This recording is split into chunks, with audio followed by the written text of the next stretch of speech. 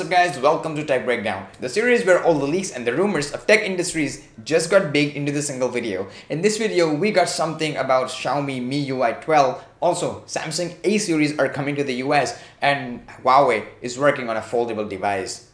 Without any further ado, let's get started. All the Chinese manufacturers make their UI compatible with China also. So their UI is going to be a lot of cluttered each and everything. We know that it is not nearer to stock Android or even they have so many uh, bloatware in their application so many stuffs are going on but xiaomi just launched the miui yesterday and it is copy paste of the iOS. And yes, I mean copy paste, I mean it. It is significantly similar to the iOS 13.1. So in my thought, does Xiaomi copy Apple or Apple copy Xiaomi? So let me know in the comment section down below.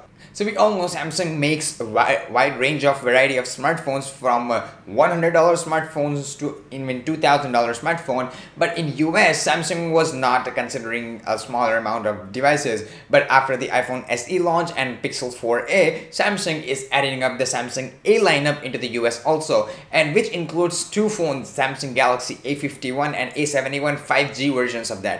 And uh, when it comes, we know that uh, each and every user doesn't use uh, all of the high-end specification, very high-end camera. They just need a good smartphone which can call, they can emails and all the things which they can do for daily tasks.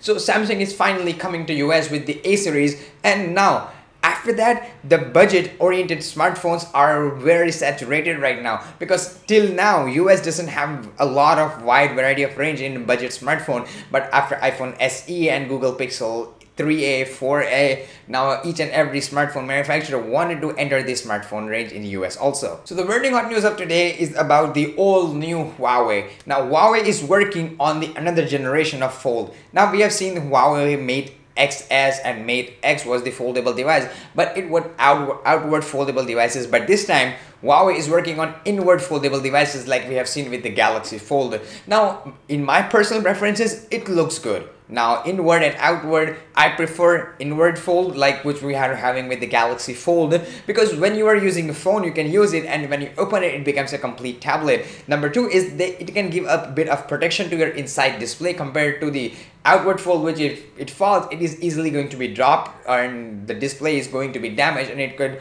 replacement could cost a lot. So i hope it is really good thing that each and every oems are going to do. Another thing which we're having is that it is going to use periscoping lens.